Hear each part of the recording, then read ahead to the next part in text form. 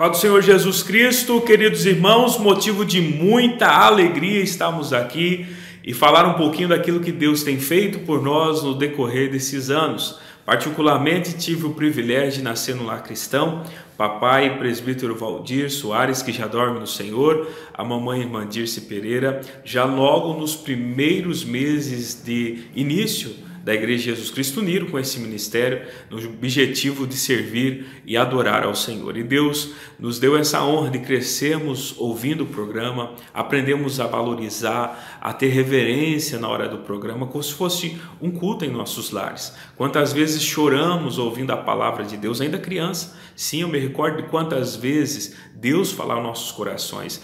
Jamais esqueceremos as convenções, ainda lá na Praça do Carmo o dia tão inesquecível que foi o dia da inauguração da nossa sede própria aí no Boqueirão. Que festa! Que momento maravilhoso que Deus nos proporcionou. E nós crescemos nessa, nessa comunhão, nessa decisão de servir a Deus. Nós somos em quatro irmãos. Eu, pastor David, depois vem o Danilo, diácono da Casa de Deus, responsável pela igreja em Dourados, Mato Grosso do Sul. Após é o pastor Diego Alves, responsável de Umuarama. E o caçula é o Valdir Júnior, que também coopera lá em Dourados, também junto com o Danilo.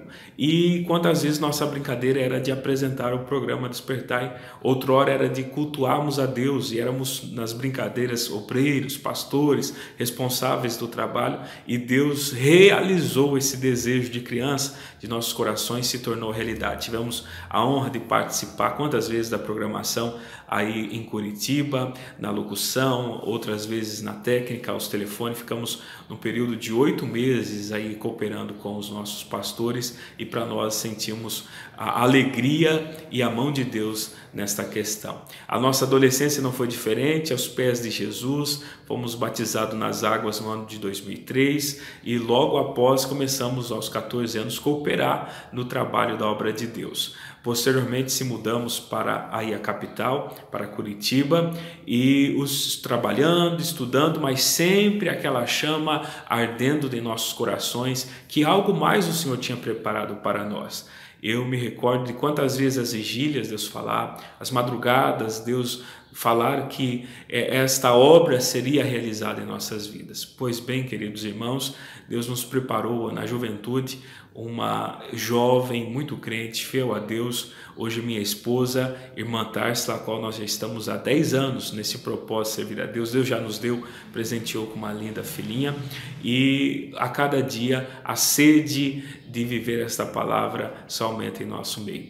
E nós tivemos a honra do ano de 2013, nós sermos convidados pelo Ministério a sermos obreiros integrais, participar da Escola de Obreiros, a EFO, Posteriormente, em 2004, separados agora com, ao presbitério, fomos enviados ao estado do Mato Grosso do Sul para auxiliar ali no trabalho em Dourados. E quanta saudade temos daqueles irmãos, das congregações ali, das aldeias indígenas aonde tem o trabalho da Igreja de Jesus Cristo, aliás, um trabalho muito abençoado por Deus. Posteriormente, em 2016, fomos enviados à cidade de Jataí, Goiás, onde estamos atualmente fazendo a obra do Senhor Jesus e com muita alegria, porque recordamos também ainda jovenzinho ouvir dizer que em Goiás estaria chegando esta porta desse trabalho.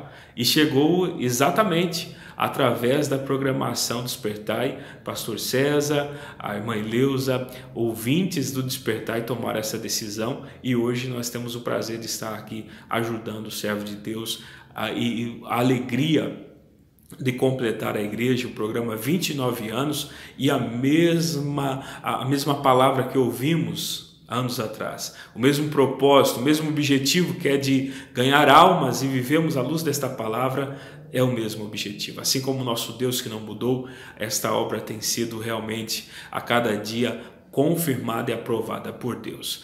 Gênesis 28, versículo 16 Jacó, quando acordou daquele sonho maravilhoso, ele diz: Realmente o Senhor está neste lugar. Eu não sabia. Nós falamos diferente. Deus está neste lugar e nós sabemos que é verdade. Temos visto a mão dele operar nesses 29 anos. Parabéns, Despertai. Parabéns, Igreja de Jesus Cristo. Parabéns a você que tem contribuído com as orações, com a contribuição E é por isso que esse trabalho tem alcançado tantas vidas, tem chegado a lugares tão longe. É porque Deus tem te abençoado para você continuar nos ajudando. Que Deus continue nos dando vitória. Decorrer desses dias, possamos erguer a cabeça e saber que assim como Deus nos ajudou até aqui, Ele nos sustentará até o último dia. Parabéns, despertai. Parabéns, igreja.